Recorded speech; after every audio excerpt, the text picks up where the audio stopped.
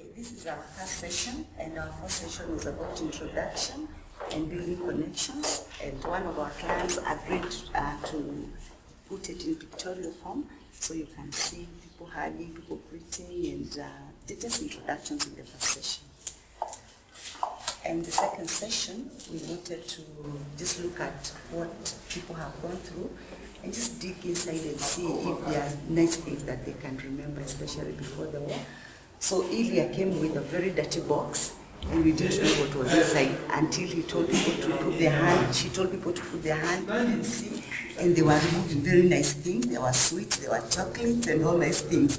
So basically what we are trying to do with that is that just remembering the good times and the joys they had before war started in their country. And second, session three, we were talking about self-regulation, that uh, sometimes when things are not working out for you, what can you do? And again, it's a thermometer. Sometimes we are down there, sometimes we are up there. This is where we need to, to be. And that's why we are calling it hali ya kawaida, meaning normalcy. So when you're down, what do you do? When you're up, what do you do? How do you maintain self-regulation? Session four, we were talking about silence, that silence sometimes is a tool of communication. And what we did is we wrote the name of the group, which is Tumaini Support Group, and we told them to write this using their body. And so they would do the T using their body, do the U using their body. And basically what we are saying is that you you don't have to talk. Sometimes when you're silent, you are sending a message. So silence is not always bad. And uh, this is session five, and uh, what the, what this is is the the story is about a boat that capsized, and this is a crocodile, and these guys are trying to get over here. And the value, it's a value lesson, and we are because uh, in this group you see there are four people. One of them, the fiancé is this one, so she's trying to close over to get to the fiancé. But one of the conditions is that she has to sleep with the man with the boat. And so the question is, are you going to sleep with this man or not? So eventually she decided I'll sleep with this man so that he can cross me over. And of course, people judged that differently. We asked the group what they thought, and everybody had different opinions. But it taught us very good lessons about forgiveness, about tolerance, about understanding circumstances that have made people do the things that they do. Session six, we were talking about, uh, this is a beautiful flower that unbuds. And uh, we were also trying to remember the nice moments that we have been through. It's not always, even now as refugees, they have their ups and they have their downs, but sometimes it's just good to remember what are the nice things that are happening to you right now. So that was really important for them. And so we drew the rose flower and said, we just want to, to tell us the positive things. We cannot complain all the time.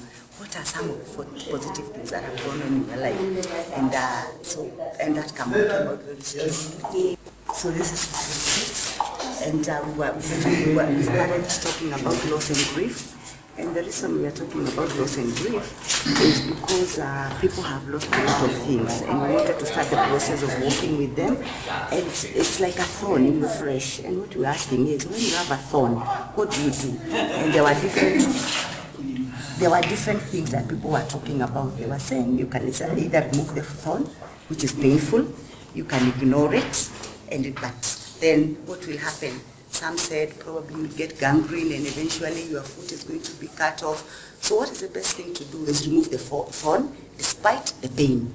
And so that is why loss and grief is a very important process, despite the fact that you're remembering very painful moments. But the question is, do you need to remember those moments? Answer is yes. Why? Because we need to start the healing process. So, and we said also that uh, in the process there will be tears, and it's okay. We, we accept that as a process of healing. And they were very receptive to that. It turned out to be very well. In session eight, we were exploring the strengths and resources within each person, and that's where we drew the human body. And we are saying, we were telling them from head to toe, just be aware of what's going on around you. Be aware of the, all the gifts that God has given you. Some people, like our client, the one who was doing this, has very strong artistic skills. We have an authority in the team. We have people who are leaders, very sharp. And so, you know, we, we were trying to bring out what else do you have your strengths, what resources do you have? And our ninth session is about dignity and value. Um, this is a tree like you can see, also skillfully done by one of our clients.